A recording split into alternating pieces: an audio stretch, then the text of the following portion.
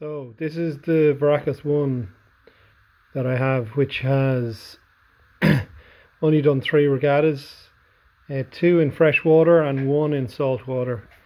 Um, as you can see, um, the line button doesn't work, so I'm not able to ping the line. Uh, the device has been put away after sailing each time. Um, I sail an SB20 in Ireland. Um, also, the charge port doesn't work. Um,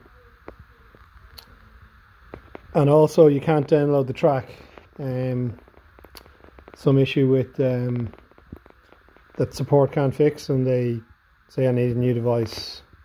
I don't know what other people think, but I don't think this is acceptable. Um, support say are recommending I spend four hundred dollars on a Vakaros two. Uh, Vakaros 2 is wireless charging, I presume because the charge port, the Vakaros 1 doesn't work. Uh, hopefully they fix the buttons. Um, Vakaros 1 doesn't, you know, it was a good device while it worked, uh, but not being able to download the track is one of the main reasons I bought it was that I could do that, and I can't do that now. So it seems to be some kind of software or hardware issue uh, that software updates don't seem to be able to fix.